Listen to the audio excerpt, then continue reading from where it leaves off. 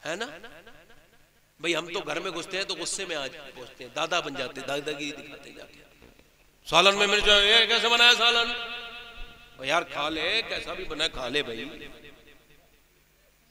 سمجھ آ رہی، میں ہنسا نہیں رہا ہوں آپ کو سمجھا رہا ہوں۔ ایسے بات جلدی سمجھ میں آ جاتی ہے آدمی کی۔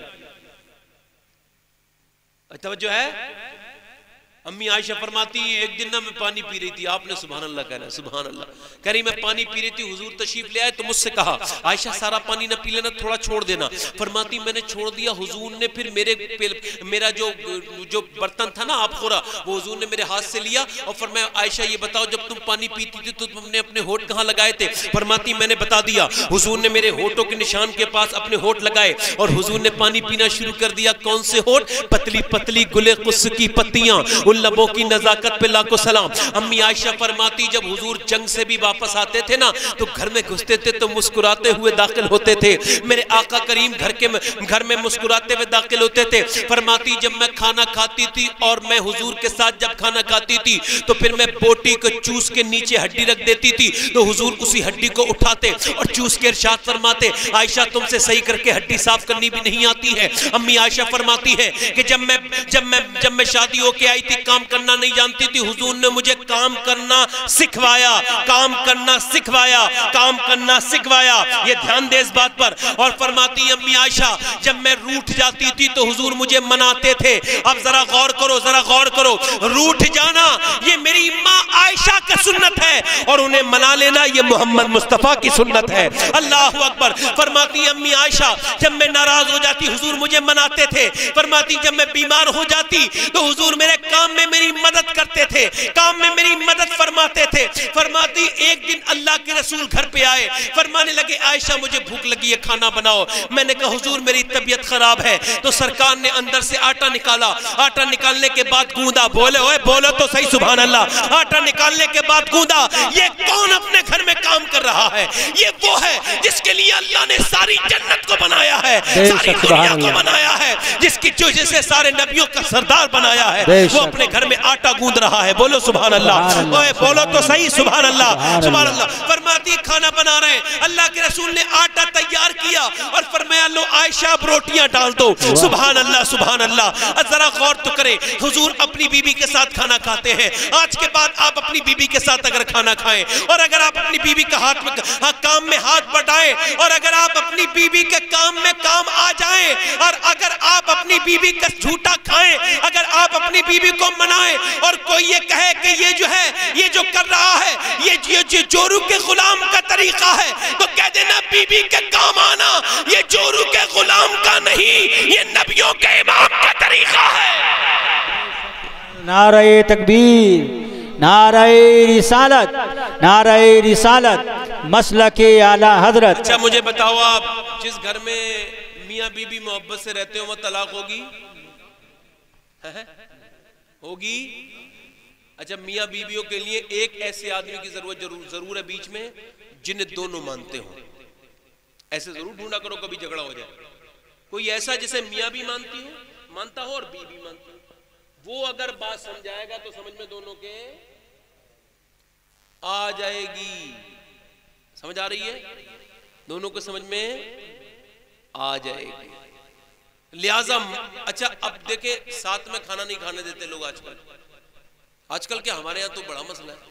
میاں بھی ساتھ میں کھانا کھا لیں تو بڑھیا بڈھے کہتے ہیں انہیں شرم نہیں آ رہی۔ ساتھ میں کھانا کھا رہے ہیں۔ اے یار، تجھے شرم آنی چاہیے تو خرافاتی۔ تو بڑا ہو گیا اور تو بڑھیا ہو گئی۔ آج تک تجھ سے خرافاتہ کی بات نہیں چھوٹی۔ میاں بیوی میں کھانا کھانے میں کون سی شرم ہے؟ ساتھ میں کھانا کھائے۔ سنت رسول ہے۔ بولا تو صحیح، سبحان اللہ۔ کھانا نہیں بل بول تو دو، سبحان اللہ۔ مجھے پتا ہے ڈرو گے تم۔ نہیں، کھایا کرو۔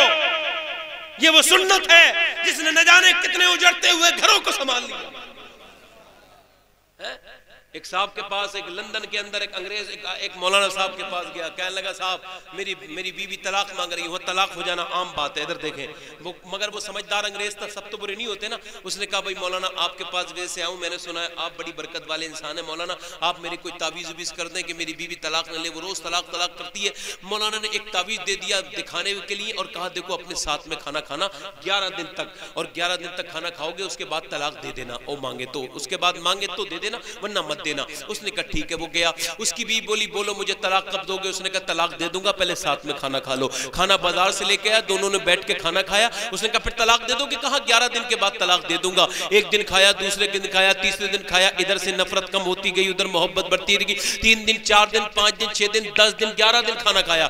گیارہ دن کے بعد انگریز بولا، بھائی کوبے طلاق میں تمہیں دے دوں؟ کہہ لگی، اب میرا موڈ بدل گیا، چھوڑو، طلاق الاق لے کے کیا کرو گے؟ بچوں کی زندگی بگڑ جائے گی، چھوڑو۔ تو میاں وہ آدمی رونے لگا کہہ لگا، مجھے شکریہ ادا کرنے جانا ہے، کہا، کس کا؟ کہا، جس کے اس تعویز سے تیری میری طلاق رک گئی۔ اس نے کہا، چلو میں بھی شکریہ ادا کروں گی، دونوں گئے۔ مولانا صاحب کے پاس پہنچے، مولانا کے کے پہنچے، مولانا رونے لگے، کہا، کیوں رو رہے ہو؟ کہا، اس وجہ سے رو رہا ہوں، اس تعویز کی برکت سے تمہارا رشتہ نہیں بچا ہے۔ کہا، پھر، کہا، میرے حضور کی سنت کی برکت سے رشتہ بچا ہے۔ کہا، وہ کیسا ہے؟ کہا، یہ جو ساتھ میں بیٹھ کے کھانا ہے، یہ میرے پیغمبر اسلام کی سنت ہے اور نبی پاک کی سنت کی برکت سے۔ رحمت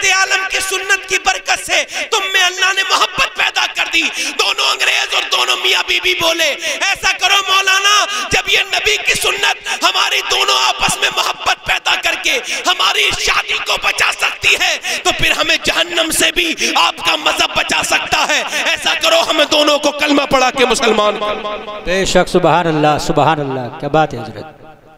ماشاء اللہ آپ نے ایک ہی بات اپنے اندر بس آپ میری بات ختم ہو رہی ہے۔ میاں بی بی کو سلام کریں۔ بیا جب شوہر گھر پہ آئے تو شوہر کو جو ہے وہ عورت سلام کرے۔ اور دیکھو، مرد کا بھی حق کوئی کم نہیں ہے۔ عورتوں کو بر بڑا حق ہے۔ حضور نے فرمایا سرکار نے فرمایا، اگر میں اجازت دیتا، سجدے کی تو عورت کو دیتا کہ وہ اپنے مرد کو کرے۔ ہے نا؟ یہ حضور نے فرمایا، میرے آقا نے فرمایا۔ ہے نا؟ عورتوں کو چاہیے کہ وہ اچھا آج کل زمانہ ایک آخری بات کر رہا ہوں سمجھ میں آ رہی میری بات؟ آپ کے سمجھ میں آ رہی ہاں۔ دیکھو بھئی آج کل زمانہ ہے نا فیشن کا۔ کا عورتیں بے پردہ ہیں۔ کون ہیں؟ مگر یہ بتاؤ، کون سی جنگل کی عورتیں بے پردہ ہیں؟ ہمارے ہی گھر کی تو عورتیں ہیں وہ۔ میرے ہی تو گھر کی عورتیں بے پردہ ہیں۔ میری یہ بات ریکارڈ ہو رہی ہے اور میں پہنچانا چاہتا ہوں صاحب ان لوگوں کو۔